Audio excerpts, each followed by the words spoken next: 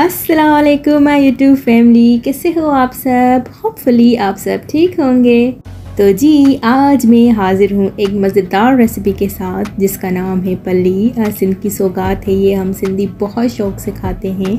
तो मैं आज बना रही थी तो मैंने सोचा अपने व्यूवर्स के साथ भी शेयर करते हैं। ये मैं पल्ली मच्छी बना रही हूँ। बहुत ही आसान तरीके से आप ज़रूर ट्राई कीजिएगा। तो जी, पहले फ़िश की सालन की तरह बनाना है। हम दो लोग हैं तो मैंने जस्ट टू पीसेस लिए हैं और ये फ़िश के सालन की रेसिपी ऑलरेडी मेरे चैनल पर मौजूद है। अगर आपको देखनी है तो लिंक में डिस्क्रिप्शन बॉक्स में दे दूँगी तो आप ज़रूर देखिएगा।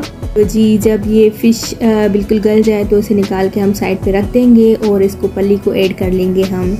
वैसे पहले बनाना बहुत आसान है, लेकिन इसके ताम झाम बहुत हैं, जैसे इसको चुनना, जिससे हम सिंधी में सुवर्ण चवंदा आहियूं सुवर्ण ॾाढो मुश्किल आहे तो इसीलिए इसको हम ऐसे बना के फ्रीज़ करके रख सकते हैं, ताकि जब भी हमें चाहिए तो इजी हो। तो उसके बाद पानी ऐड करके, उसमें पल्ली को ऐड करके, और फिर हमें टमाटर डाल के इसको ढक के रख देना है। जब तक ये अच्छे से गल जाए। कुछ लोग ग्राइंड भी करते हैं और लेकिन मेरे हस्बैंड को ग्राइंड वाली नहीं पसंद, लेकिन फिर भी मैंने थोड़ा सा ग्राइंड कर लिया था।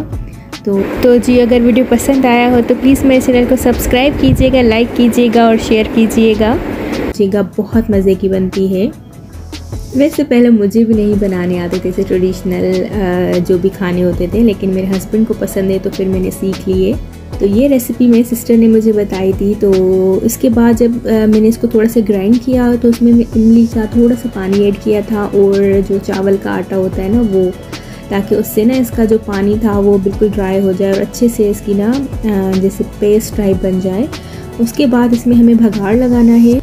और ग्रीन धनिया जो होता है, वो इसमें ऐड कर देना है। तो ये बहुत मज़े की बनी थी और वापस इसको रख देना है। ये वीडियो के चक्कर में मेरे उल्टे गिर गए पीसेस लेकिन आपको अच्छे से रखना है क्योंकि डेकोरेशन और जो प्रेजेंटेशन है, वो अच्छा होता है तो खाना और ज़्यादा अच्छा लगता है। तो जी, यहाँ पे मैंने चावल की रोटी भी बना ली थी और ये देखें इसका फाइनल लुक बहुत मज़े की बनी थी। आप ज़रूर ट्राई कीजिएगा और मुझे टैग कीजिएगा।